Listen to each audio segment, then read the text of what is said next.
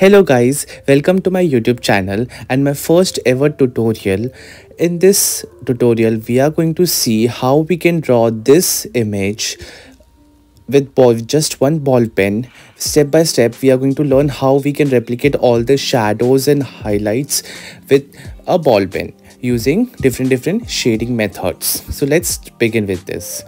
So to draw this portrait, we need a Brustro Artist Drawing Archival Quality book or Strathmore Bristol Vellum Surface. Both the links are in my description. We can use either of these these both the sheets are textured sheets you can as you can see in textured sheets we get a realistic effect because we can add more details and we have more control for this i'm using a bic big ball pen in the next step i'm going to explain you all how you can determine which ball pen is accurate to use which ball pen is perfect to use it use for sketching. So let's begin with the sketching. So basically a, a ball pen you have to check some things before commencing with the shading part. First you have to randomly scribble on a paper and check whether your pen is working or not so I'll just scribble on it. Now that I know my pen is working, my next step would be throw some random strokes and check whether I'm getting some ink leaks or, or not. Ballpoint sketching is all about throwing strokes from left to right from one position to other position so you have to make sure you get smooth outcome with very little pressure with very less pressure you have to make sure you're getting even shading the two techniques that we use in ballpoint sketching is hatching and cross hatching. So let's see how we, we can uh, do a hatching.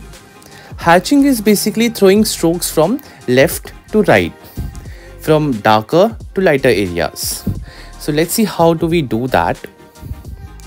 So basically hatching is all about throwing strokes from left to right position the more closer your strokes will be, the more smooth and realistic shading you will get out of it.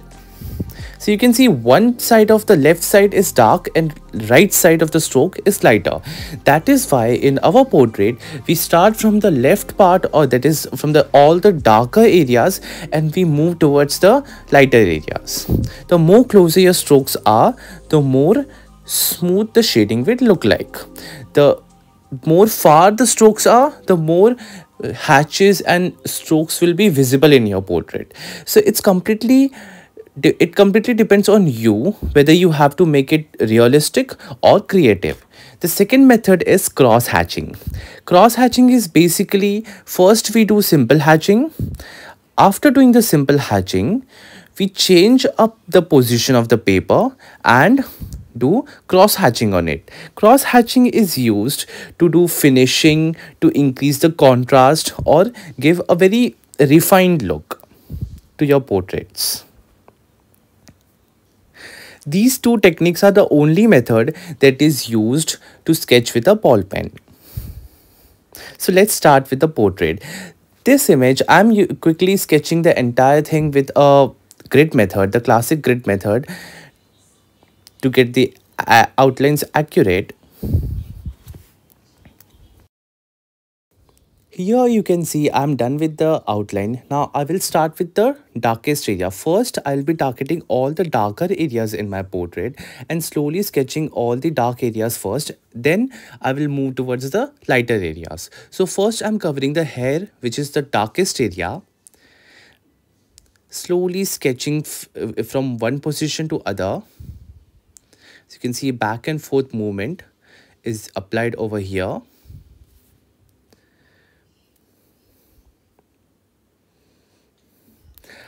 To explain this in depth and in less time, I have used real-time version and time-lapse both. So you can go back and see the real-time version again if you want to know more about it. So you can see for darker areas like hairs eyebrows eyelashes. I'm just scribbling in backward and forward movement.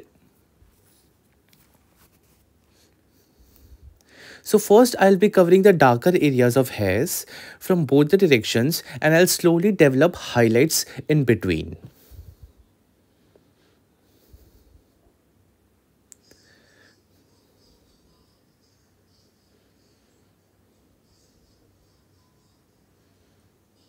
So we are done with the hairs.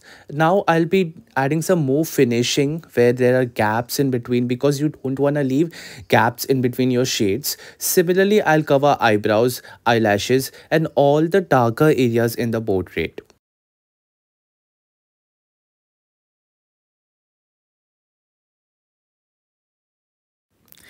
When you cover a small area like eyebrows and eyelashes, make sure your movement is slow so you don't spread ink on the skin textures.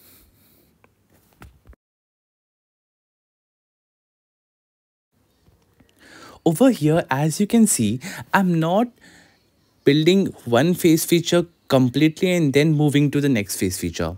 I always use collective building method. That is, you collectively build the entire face you don't complete one face feature and then move on to next one. For example as you can see i'm doing one part of eyebrows and then moving to the next one then coming back and completing it. This is called as collectively building the entire face instead of focusing one face feature. As you can see over here i did the eyebrows eyelashes and now i'm covering the darker areas of the face here comes in picture simple hatching. As you can see, I'm simply hatching my, throwing my strokes and covering the darker areas very smoothly. Two things you have to consider over here. Always remember, you have to leave less gaps between two strokes. If you leave more strokes, uh, more gaps between the strokes, you will end up getting not so smooth shading. Second thing is your pressure. The more practice you do on these things, the more your pressure control will be in your hands. Good thing about a textured sheet is you will be able to control your pressure even more. First, we have to shade the entire thing smoothly with simple hatching and then we do cross hatching. As you can see over here, I changed the direction and now I'm giving cross hatching. Two reasons why we give cross hatching is to increase the darkness and give a finished look to the skin texture. It totally depends on what kind of skin texture you are sketching. If you're sketching the darker areas, as you can see, I'm putting a little bit more pressure. First step will be simple hatching and then after simple hatching is done i'm to do some so cross hatching and give the finished look to the skin texture. Every darker areas of the portrait is covered first if you compare with the reference image. I'm just leaving out all the lighter areas and first focusing on all the darker areas. Slowly i'm gonna build the texture of darker areas and then move towards the lighter sections. Connectivity between two stroke is very important. Over here you can see after some time I came back to this part of the face and started shading but I'm trying to make a connection between two strokes. I'm trying to make sure they are as close as possible and there's a connection between the strokes.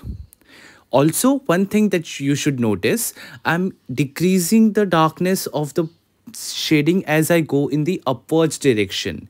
That is, I now need lighter areas, so my pressure will be less. You can see this is cross hatching. This is the zoomed version. As you can see how I'm throwing strokes. Okay now this is the actual version now again i'm gonna do simple hatching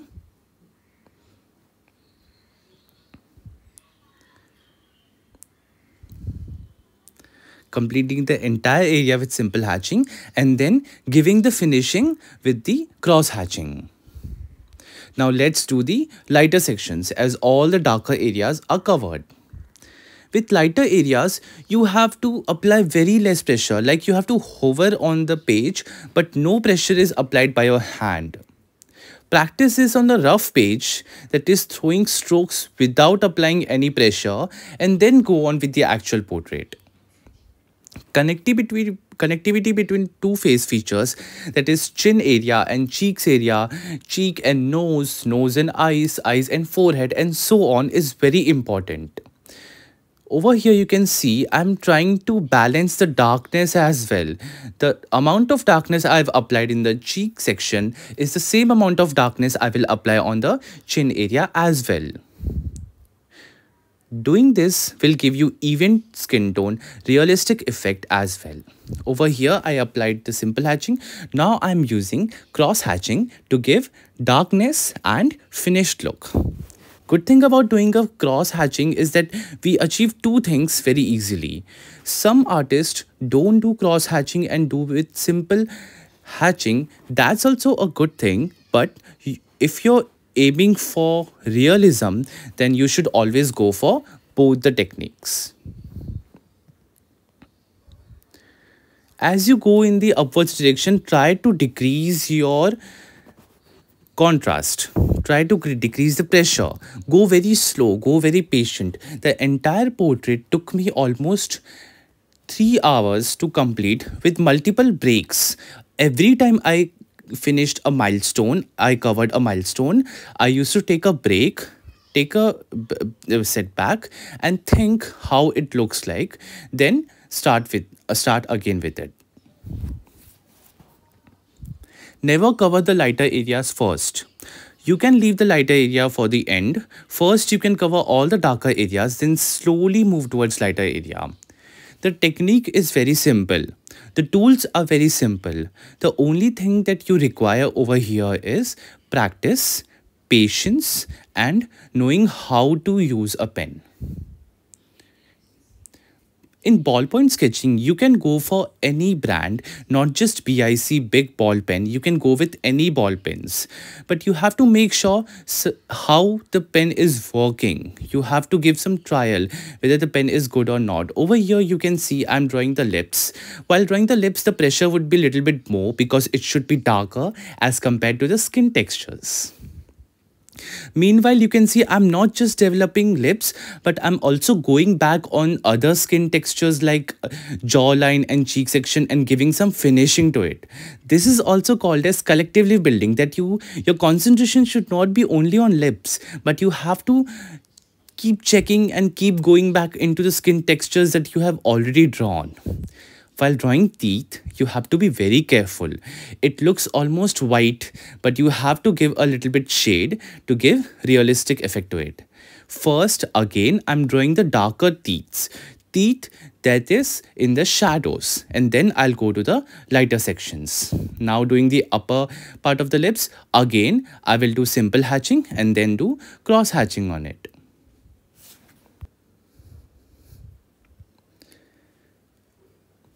Simple hatching and again cross hatching. Make sure you give shades to your teeth. Don't leave it white or it will look weird.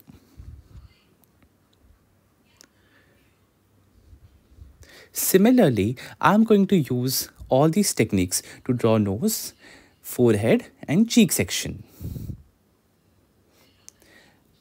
Key to realism is achieving darker areas and lighter areas accurately. For any art medium, if you achieve darker areas and lighter areas accurately, you will get accurate portrait. So you can see I'm giving emphasis to giving dark areas accurately and lighter areas as well.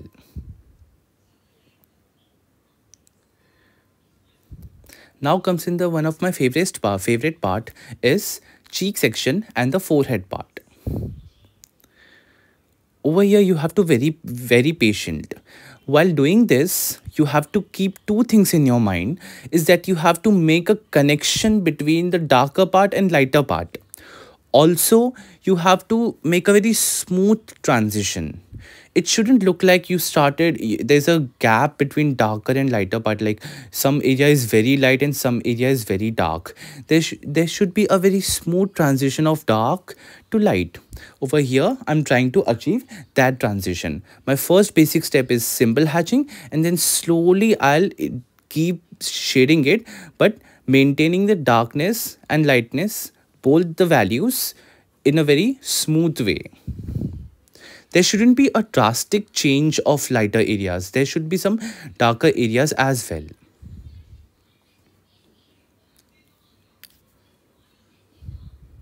So over here, I'm almost done. As you can see, I've left some gaps in between over there in the cheek section, also in the chin area, also on the nose and many areas. I've left some gap for the highlights.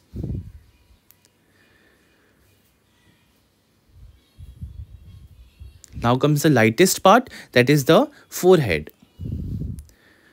Simple hatching and then cross hatching. Now comes the last part that is the neck part in the neck part as well i'm going to use both the techniques and complete the hatching process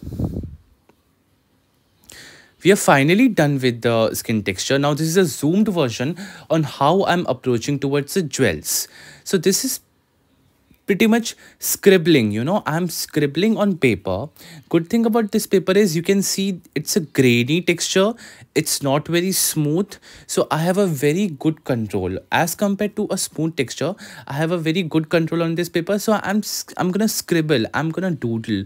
How we used to doodle all those designs? I'm gonna doodle these designs and draw the jewels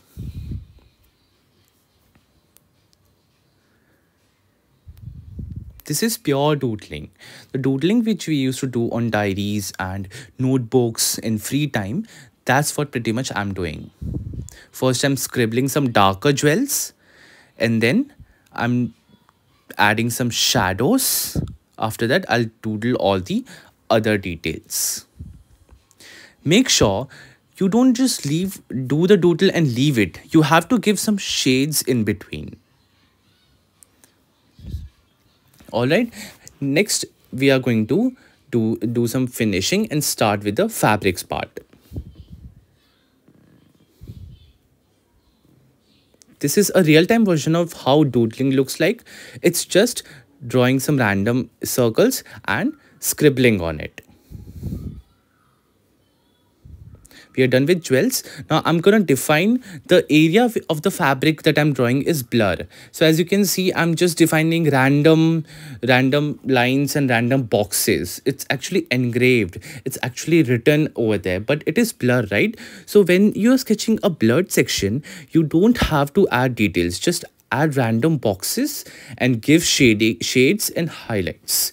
Darker areas and lighter areas. Define both the things and leave it First again, I will do all the darker areas and then I'll give shading to lighter sections. While giving shading to the fabrics, make sure you maintain the lighter areas and darker areas as well which means when you doodle a particular area you have to give some random scribbles random shades to it this is the real-time version of how it looks like and this is a time-lapse version. Doodling, shading in between, shading the darker areas, shading the lighter areas. Again, I'm gonna scribble those designs if something is blur if any design is blur you don't have to draw them but you can just do some random scribbles and shade on it here i'm giving some volume i'm giving some shades to the details. Now I'm going to use simple hatching to sketch the entire thing. After that, I'll be using cross hatching to increase the darkness and to give the finished look to it. Here I'm almost done with the blurred section of the fabric. We will now start with the detailed section, that is the right section of the fabric. One thing that you have to keep in mind while drawing the detail section with ball pens, make sure you draw all those designs accurately. To draw accurately, you don't have to shade the designs. Instead, you can doodle it. It is a very fun part and one of my most favorite part while sketching any portrait. Here, I'm doing some random scribbles, random strokes to draw that kind, kind of fabric. And I'll give multiple layers to give the accurate contrast to it. Meanwhile, I'm also sketching inside of the skin texture as well. This is also one good example of collective building where you have to create connections between your fabrics and skin textures. That is, while drawing fabrics, make sure you also focus on the skin textures. This is pure doodling and giving some shades in between. The entire process will be divided into doodling and shading in between. Here i'm not gonna shade inside the details. That is i'm not gonna give a little bit of shading as i gave in the blurred section. Why? Because i want these designs to stand out in my portrait. It should look attractive. To give attractive look i leave the gaps as it is. Now i'm I'm going to write the entire engravings. Instead of ma making some random shapes. I'm going to write it. I'm going to all doodle all the designs. And then I'll simply fill the gaps in between with random scribbles. This process is very easy and very fun part as well. The more patiently you fill gaps in between, the more good your details will look like.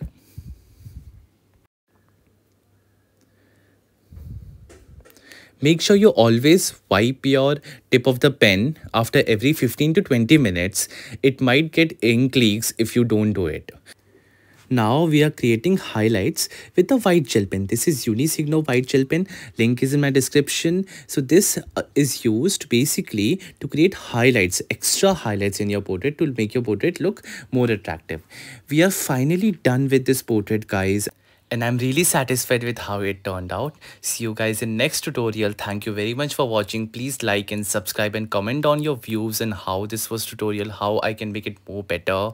You can also join my workshop. Head to my Instagram link to know more. Every month I do workshops on colors and portraits. See you guys in the next video.